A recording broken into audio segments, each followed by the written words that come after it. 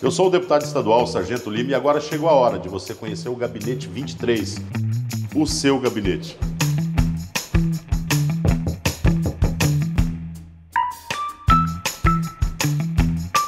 Então, gente, essa é a recepção do nosso gabinete, onde nós estamos esperando você que vem até aqui trazer as suas demandas e conhecer o deputado estadual Sargento Lima.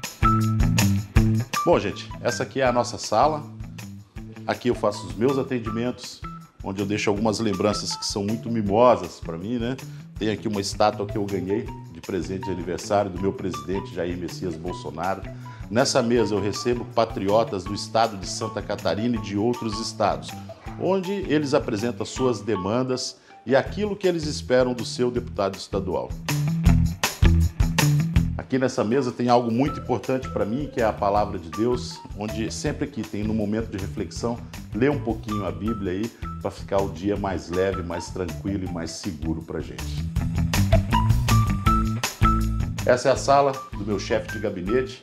É aquela pessoa que atende todos aqueles que vêm nos visitar aqui quando o deputado não está e ajuda nos trabalhos administrativos do próprio gabinete.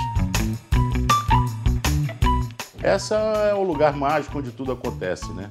Aqui está nossa assessoria jurídica, onde a gente apresenta e discute as nossas ideias sobre importantes projetos para o estado de Santa Catarina.